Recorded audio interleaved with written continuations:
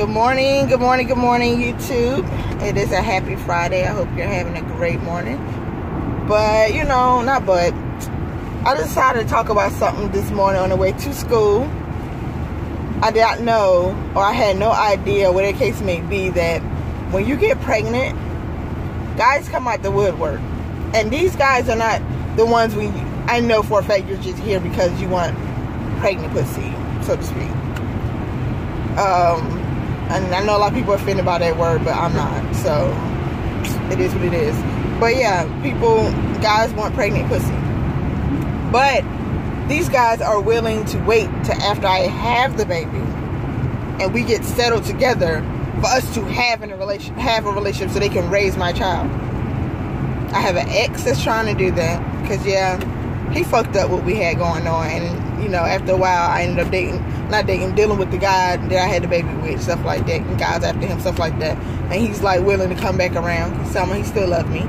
Um, another guy that I was talking to after my ex, uh, we broke up May 2017, and there were two guys that I started dealing with later on that year that I started chit chatting with.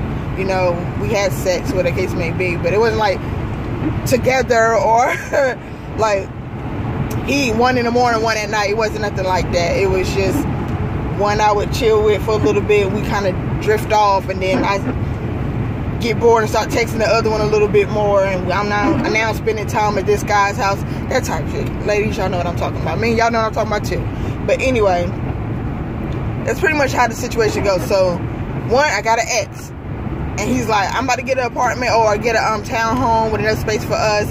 And I'm like, um, I hope you're doing it for your daughter, you and your daughter, because you know, I'm I'm okay. We're okay. Thank you. I'm not trying to go back that way.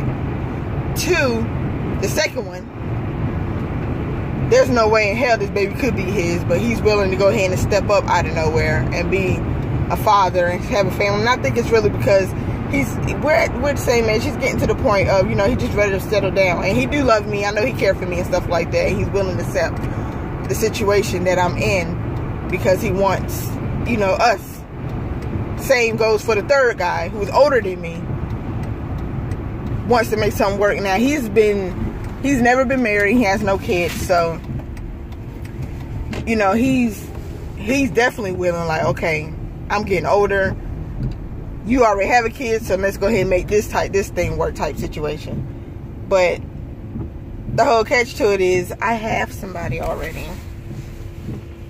And no, I, it's not my baby daddy. I don't deal with him. I, from the moment me peeing on the stick, I was like, hell no. Hell no. His attitude, his demeanor, everything about him was not going to work for us. And I don't, I really don't want, I don't, I don't want him imprinting on my child you know, no, no shape or form. Like, not at all. But anyway, the new, the guy I'm with now, we've been talking since around my birthday. We did graduate together and things like that. So, I'm excited. I'm happy about what we got going on. You know, we made it official probably a month in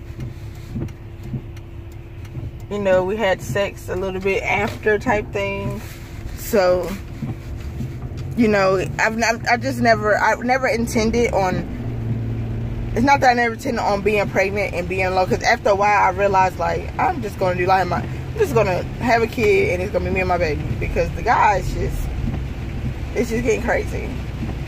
For me to do it the way that you have, you're taught or raised to do it. Settle down and didn't have a kid. I just got to the point of, I guess it's going to be me and my kid because I can't find nobody I can settle down with.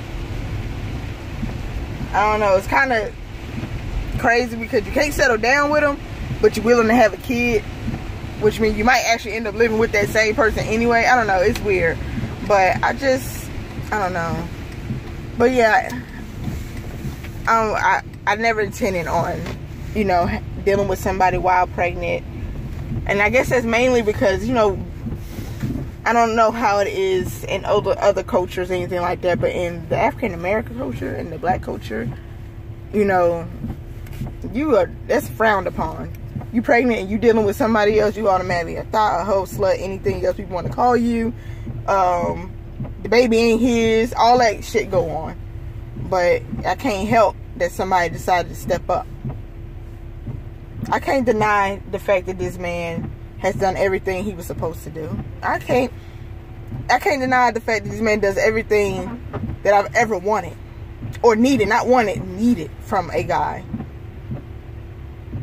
Well, he got me chopping off niggas that, that I didn't had around for years. No matter who I dated, I wouldn't have a sex with them while I was with somebody else. But you know, if they hit me up, what you need, I'm going to answer. I'm going to be there for you. Right now, I don't even. I feel bad if I answer the phone or text this person back now. Like, I don't even. Well, that's how, that's how I was in the beginning. Now I just don't even bother to communicate with the people at all. I'm really on the verge of changing my number. Oh, for this guy, like, because I don't even. I don't want to ruin something so great. Like, I've never had anybody to do the things my dad has done for me. Make sure I got some money in my pocket for the day. You know, make sure my gas is. You know, I got gas in the car. He gives me his car if I'm out of a car. He gets my car inspected, you know, all that because he's not a car man. So he gets somebody else to do it for me. He's worried about my well being. You know, he rubs my back, my feet, everything because I'm, I'm my ankles swollen and everything. My, I'm at the point where I'm about to pop and everything aches. He drives, he'll get up or leave work after a long day and make sure that I get what I'm have a taste for, something that's on the other side of town. Like stuff like that. He gets up and drive and starts my car so I don't have to go into a cold car. Like I don't I've never had any of that. And randomly I might come home, especially if he not even especially, randomly I can come home and there'll be something, a little gift and everything going to bed. And if he's, he know he's hurt my feelings or whatever case may be. And hell, half the time he hurt my feelings because I'm emotional. it's not because he really, really hurt, hurt, hurt my feelings. If I wasn't pregnant, it probably wouldn't have been that bad. But it doesn't matter. It's the fact that, you know, it was anything but a smile that he gave me. He he has a gift. I've I had guys bring me stuff on my birthday or Christmas stuff like that. It'd be petty little stuff, but most of the time, I'm not with somebody at that time, or it's somebody I'm dealing with that just got money to blow, and that shit don't matter to me. I'm dealing with you because you got money to blow, so I don't have to spend my money, type shit. So, in this situation, he makes me want to do better and and change my ways to make him happy he bought he bought me things. I didn't want anything for Christmas. He still bought me things. Um, he ordered me some things. And on top of that, gave me 150 in the car. Like I've never. Some girls get thousands of dollars. Me, I'm happy to get 150 in a card from somebody that truly cares and it's something coming from their heart versus I got money to blow. I give you two two hundred right here in the morning, two hundred in the afternoon, two hundred at night. Like that's how my baby daddy was.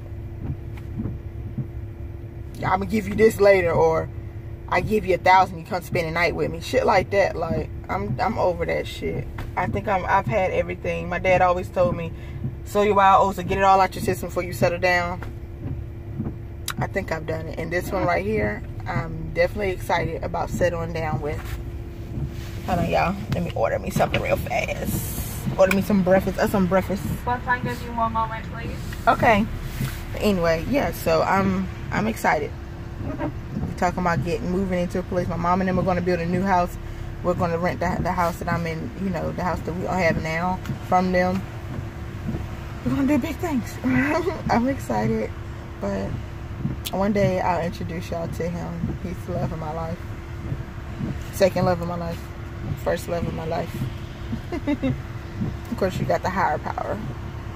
But everybody, I wish y'all a great day. I'm to go ahead and order my food, our food, and get to school because I'm already late because of the weather and people don't drive. Bye.